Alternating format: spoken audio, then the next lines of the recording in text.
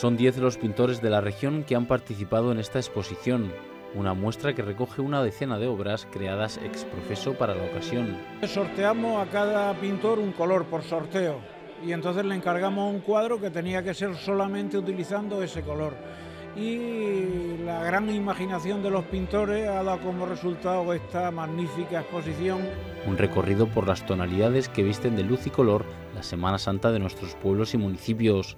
La gama va desde el negro más profundo al magenta más luminoso, pasando por colores tan representativos de la Semana de Pasión como son el morado o el corinto, coloridas obras que se presentan al público en un lugar inédito. Por primera vez se hace una exposición en una carpa en Murcia y la hemos colocado en el eh, trayecto del Palacio Episcopal a San Antonio para que todo el mundo en un poco trayecto pueda recorrer las tres exposiciones que se hacen en este tercer Congreso Internacional de Cofradías.